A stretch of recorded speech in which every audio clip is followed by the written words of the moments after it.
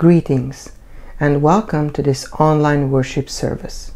In the previous sermon, we looked at the story of Gideon and how God's will manifested itself in the life of the Israelites. We also looked at this really big question about what is God's will for our lives? What is the purpose of life? And I used this very simple but insightful definition from uh, Pastor Louis Giglio who said that God's will for our lives is for us to live in freedom and in victory in every area of our lives for the glory of Christ. Now, today, I want us to look at one of the biggest stumbling blocks to our freedom that God has designed for us. Now, when we talk about personal challenges and issues that could, you know, rob us of the freedom God planned for us, you know, there are so many big ones that come up, like uh, addictions, that's a ma- major one, or uh, unforgiveness, which is an underrated but pretty main one. But quite often, it's not the big things that trip us up, it's actually the subtle things, like comfort I know that uh, the topic of comfort is kind of controversial because, on one hand, we all kind of aim for it. I mean, whether we admit this or not, but we also kind of know that it shouldn't be the driving force behind every decision we make. We all kind of want it, but we also know that it shouldn't be the above and beyond goal for our lives.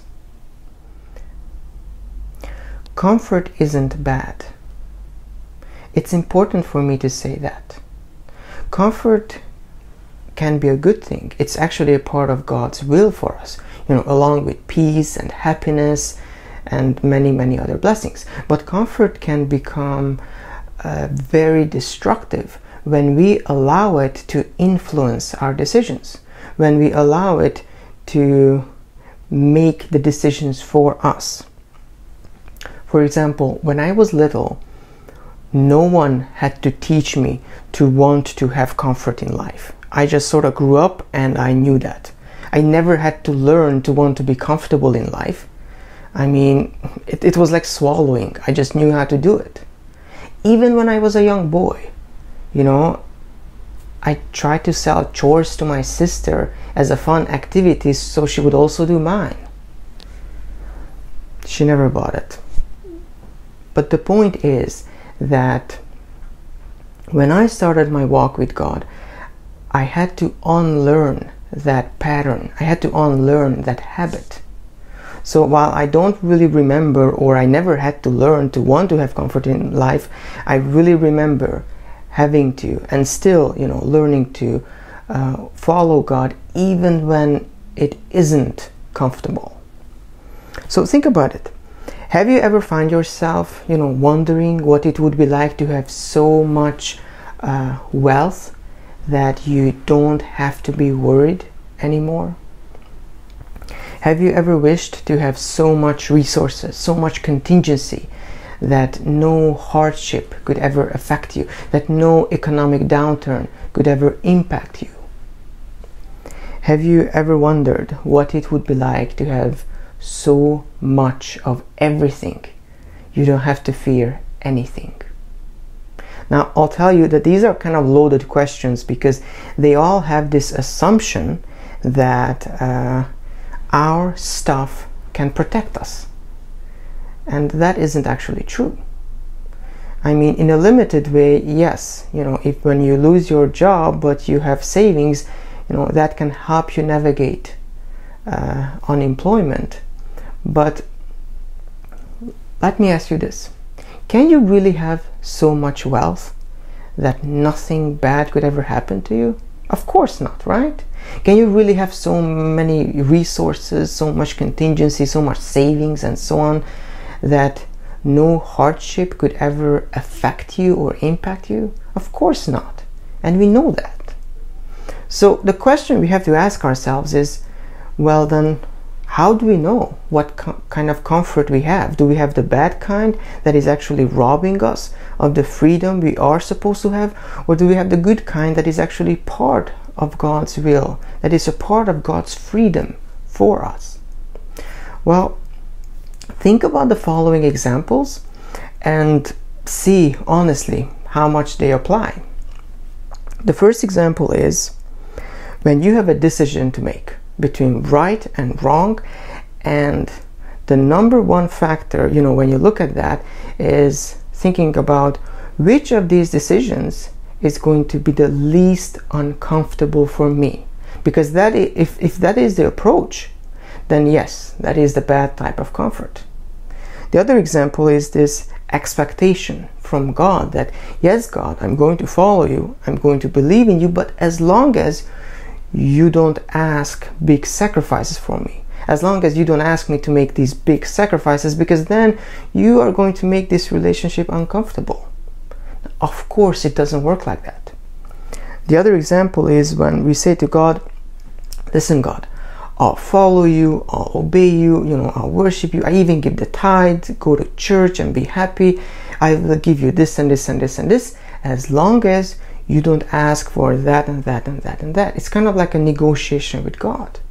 And again, our relationship with God really doesn't work like that. The last example, perhaps the most important example, is when we tolerate sin in our lives.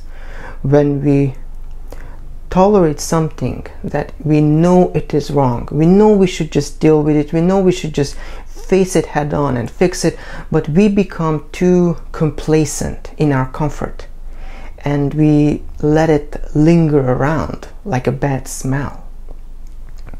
So today I want us to look at uh, the book of Judges, chapter 6, verse 1 to 6 and look at a story, a specific event, and how the nation of Israel had to face a very similar issue about comfort. So, verse 1 The Israelites did evil in the eyes of the Lord, and for seven years he gave them into the hands of the Midianites. Because the power of the Midian was so oppressive, the Israelites prepared shelters for themselves in mountain clefts, caves, and strongholds. Whenever the Israelites planted their crops, the Midianites, the Amalekites, and other eastern peoples invaded the country. They camped on the land and ruined the crops all the way to Gaza and did not spare a living thing for Israel, neither sheep, nor cattle, nor donkeys. They came up with their livestock and their tents like swarms of locusts. It was impossible to count them or their camels. They invaded the land to ravage it. Midian so impoverished the Israelites that they cried out to the Lord for help. So, in this reading, the Israelites turned away from God, and as a result of their uh, disobedience, God's protective presence sort of withdrew from the nation. Because the nation of Israel turned away from God, as a consequence to that, uh, God's presence sort of disappeared, and as a result, another nation was able to conquer them and invade them. Now, in an interesting way, this story actually talks about comfort. Because when the Midianites attacked and conquered Israel and established the new norm that from here on out we are going to come back every year taking the harvest, taking the, all the resources, all the livestock, everything, the Israelites actually had a choice. You know, are we going to, you know, let them keep coming back, or are we just going to, you know, try to do our best to survive and hide in forts and caves. And as it turns out, it was much more comfortable to survive and hide in caves than to face this impossible enemy. It was much more comfortable to hide than to face reality and cry out to God for help. Now, regardless of that, after seven years, the Israelites have had enough.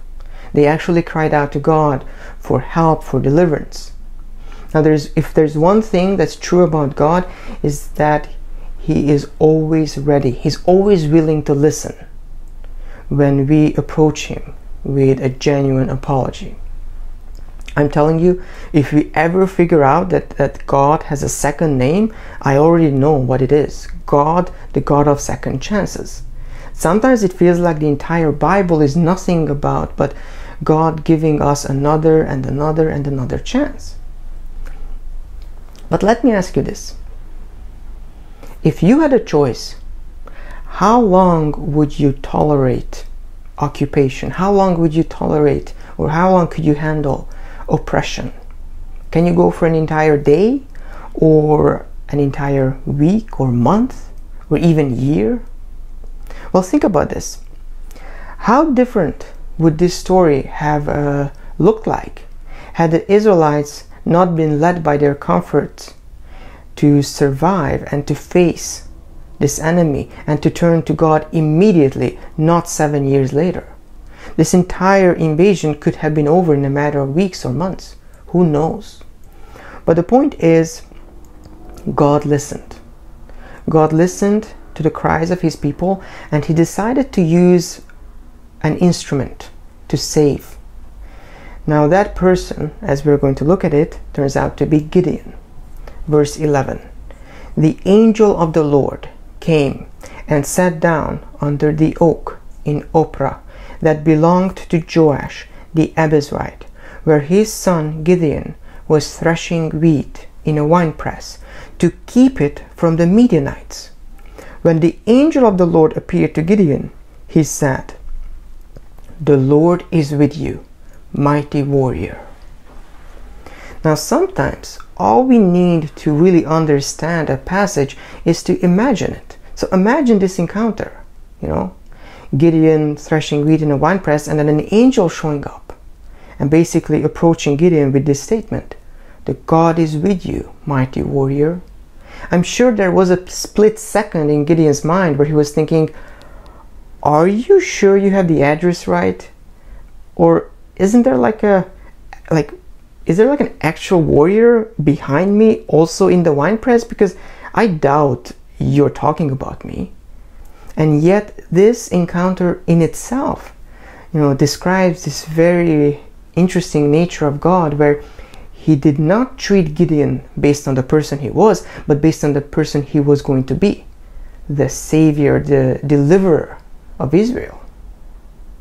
Now, that same thing, you know, God looks at us the same way. God doesn't look at us as the people we are.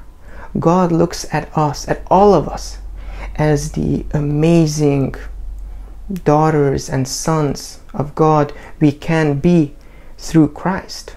And that is so, so powerful. Verse 13 Pardon me, my Lord, Gideon replied, but if the Lord is with us, why has all this happened to us?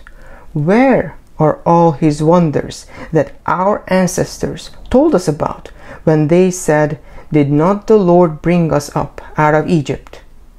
But now the Lord has abandoned us and given us into the hand of Midian.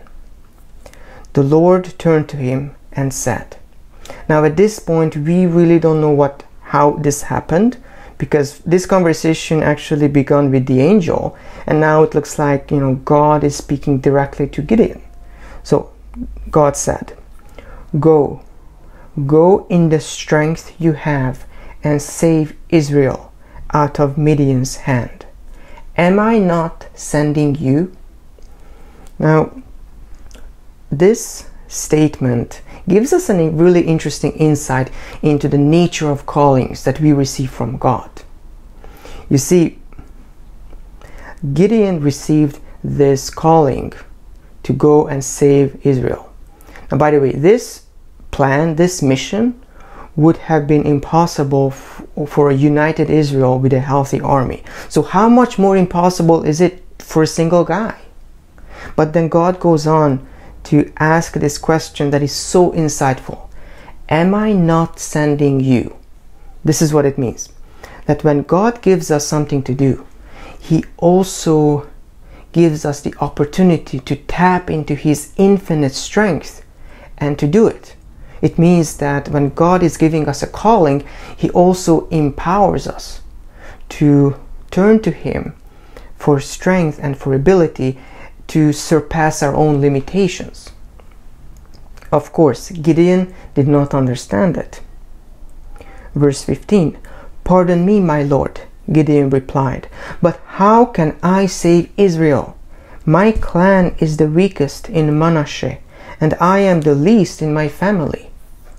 The Lord answered, I will be with you, and you will strike down all the Midianites, leaving none alive. So here basically God just repeated it himself. He repeated himself and said that, listen Gideon, my strength is so much bigger than your weakness.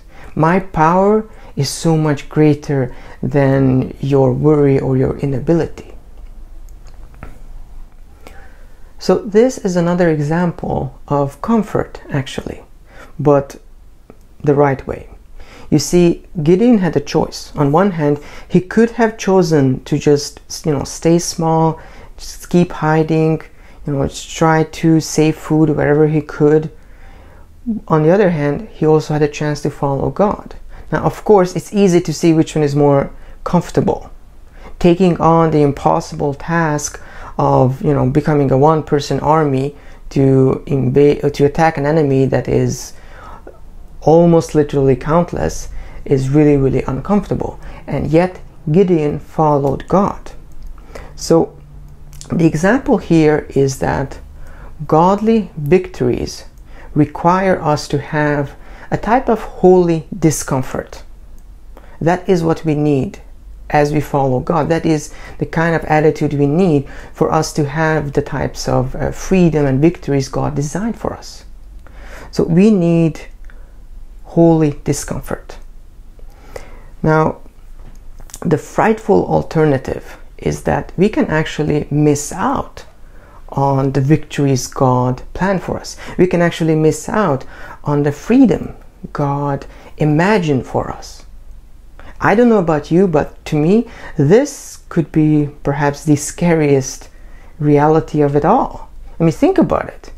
You know, God ever saying, But my child, I had so much more in mind for you than what you have settled for. But what I imagined for you was so much bigger, was so much more amazing than what you had made due to your comfort. Sounds like a really, really scary idea. So, verse 36 Gideon said to God, If you will save Israel by my hand, as you have promised, look, I will place a wool fleece on the threshing floor. If there is dew only on the fleece and all the ground is dry, then I will know that you will save Israel by my hand, as you said. And that is what happened. Gideon rose early the next day. He squeezed the fleece and wrung out the dew, a bowl full of water. Then Gideon said to God, Do not be angry with me. Let me make just one more request. Allow me one more test with the fleece. But this time, make the fleece dry and let the ground be covered with dew. That night, God did so. Only the fleece was dry, all the ground was covered with dew.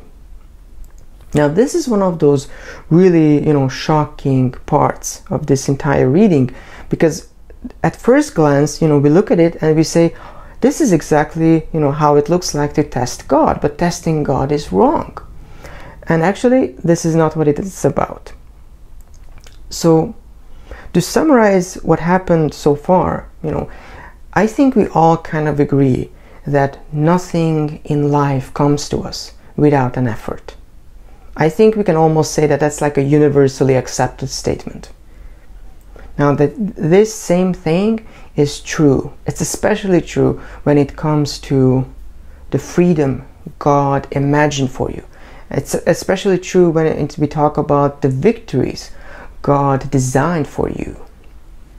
Now, holy discomfort, or you know, walking with God in holy discomfort is not really about you know doing something really difficult and then asking God to bless it.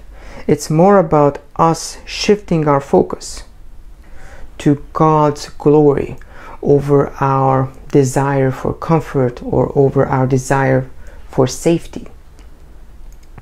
So it's actually not us, you know, fighting for all that matters. It's actually Christ fighting through us. And there is great, great relief in knowing that. What do I mean by that? Well, in this last reading, what Gideon basically did is that he told God, listen, God, if if you really are going to to save the nation by my hands, then then help me.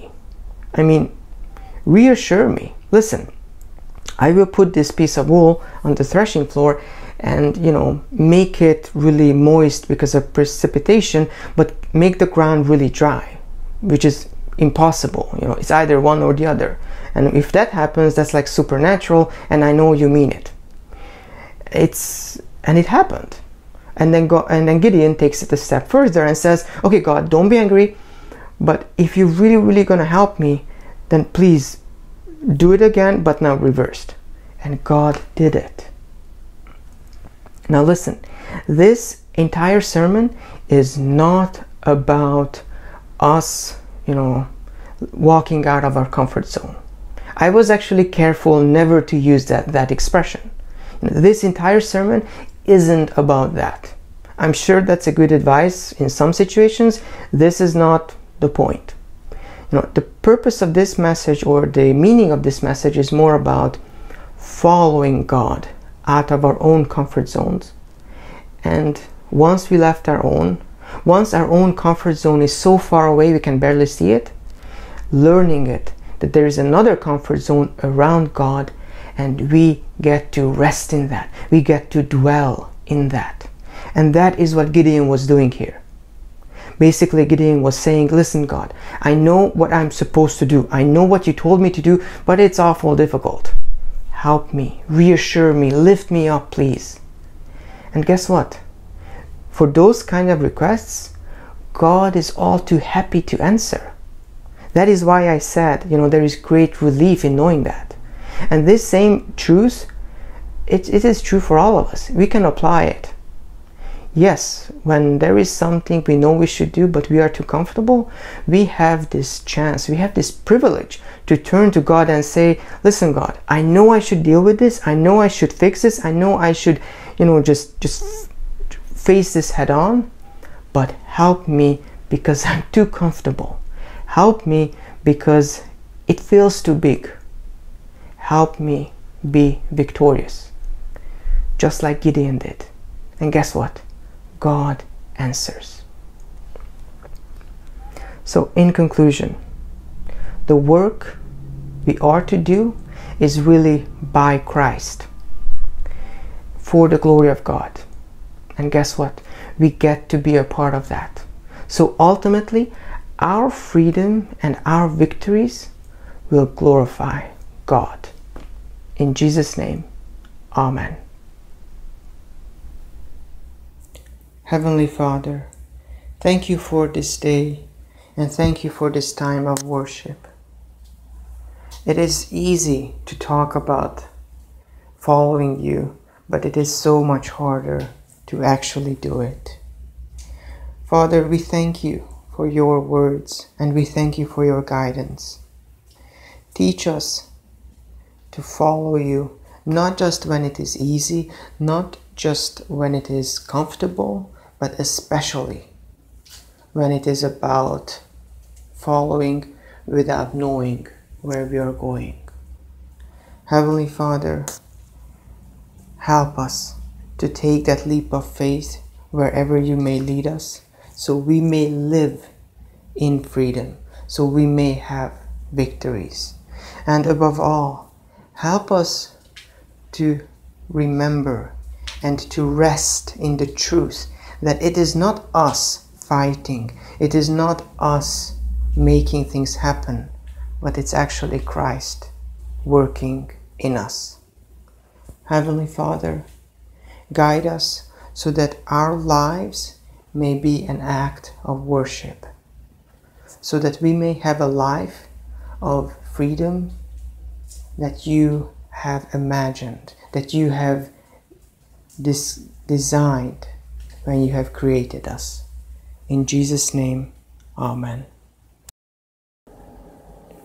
The Lord bless you and keep you. The Lord make his face shine upon you and be gracious to you. The Lord turn his face toward you and give you peace. Amen.